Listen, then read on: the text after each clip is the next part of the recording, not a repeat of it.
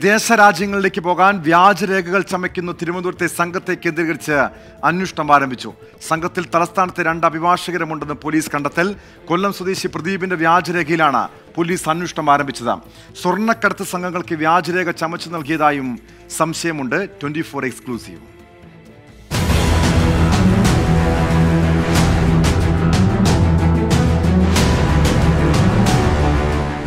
കൊല്ലം സ്വദേശി പ്രദീപ് വിദേശത്തേക്ക് പോകാൻ പാസ്പോർട്ട് ഓഫീസിൽ സമർപ്പിച്ച രേഖകളിലുണ്ടായ സംശയമാണ് വ്യാജരേഖാ സംഘത്തിലേക്ക് വിരൽ ചൂണ്ടിയത്. പ്രദീപ് സമർപ്പിച്ച S S L C certificate നോർക്കയുടെ attestation seal എന്നിവ വ്യാജമെന്ന് പാസ്പോർട്ട് ഓഫീസ് സ്ഥിരീകരിച്ചു. നോർക്കയിൽ വിവരമറിയിച്ചു. നോർക്ക റൂട്ട്സ് കന്റോൺമെന്റ് സ്റ്റേഷനിൽ പരാതി നൽകി. പരാതിയിൽ കേസെടുത്ത് അന്വേഷണം ആരംഭിച്ച പോലീസ് പ്രദീപിനെ ചോദ്യം ചെയ്തപ്പോഴാണ് തലസ്ഥാനത്തെ രണ്ട് പ്രമുഖ അഭിഭാഷകരുടെ പങ്ക് മനസ്സിലായത്. ഒരഭിഭാഷകനെ പോലീസ് പ്രാഥമികമായി ചോദ്യം ചെയ്തിരുന്നു.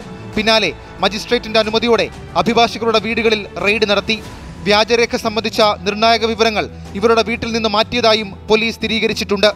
അഭിഭാഷകരിൽ ഒരാൾ സ്വർണക്കടത്തിൽ ആരോപണ വിധേയനാണ്. ഇയാളെ ഏജൻസികൾ മുൻപ് ചോദ്യം ചെയ്തിട്ടുമുണ്ട്. സ്വർണക്കടത്ത് സംഘത്തിനും ഇവർ വ്യാജരേഖ ചമച്ചു നൽകിയതായി പോലീസ് സംശയിക്കുന്നു.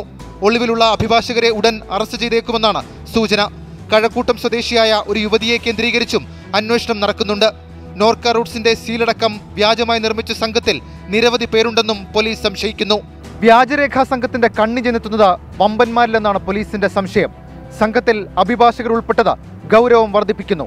Shefeed Rauthar twenty four Thiruvananthapuram.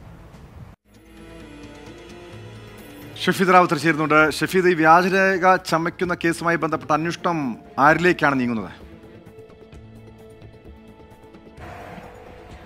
Tomy വിഷയത്തിൽ രണ്ട് പ്രധാനപ്പെട്ട കാര്യങ്ങളാണ് കാര്യങ്ങളാണുള്ളത് അതിലൊന്നെന്ന് പറയുന്നത് ആരാണ് ഈ പരാതിക്കാർ എന്നുള്ളതാണ്. നോർക്ക റൂട്ട്സ് ആണ് ഇതിലെ പരാതിക്കാരൻ. നോർക്കയുടെ അടക്കം വ്യാജരേഖ ചമച്ചു എന്നുള്ളതാണ് ഈ കേസിന്റെ ഗൗരവം വർദ്ധിപ്പിക്കുന്നത്. ഈ കേസിലേക്ക് നമ്മൾ മുൻപ് പറഞ്ഞതുപോലെ തന്നെ ഈ പോലീസ് എത്തുന്നത് ഒരു പരാതിയിലാണ്. അതായത് പാസ്പോർട്ട് ഓഫീസിൽ കൊല്ലം സ്വദേശി പ്രദീപ് സമർപ്പിച്ച ചില രേഖകൾ. അതിലുണ്ടായ സംശയം പാസ്പോർട്ട് ഓഫീസ് നോർക്കയുമായി ബന്ധപ്പെടുന്നു. നോർക്ക ആ വിഷയത്തിൽ അത് വ്യാജമാണെന്ന് തെളിയിക്കുന്നു. നോർക്കയുടെ സീലും അറ്റസ്റ്റേഷൻ ഉൾപ്പെടെയുള്ള കാര്യ- കാര്യങ്ങൾ വ്യാജമായി ചമച്ചു എന്നുള്ളത് ഈ കേസിന്റെ ഗൗരവം അത്യന്തം വർദ്ധിപ്പിക്കുന്നുണ്ട്. മാത്രമല്ല ഈ പോലീസ് ഈ അന്വേഷണം ആരംഭിച്ച ശേഷം ചെന്നെത്തിയ രണ്ട് കണ്ണികൾ.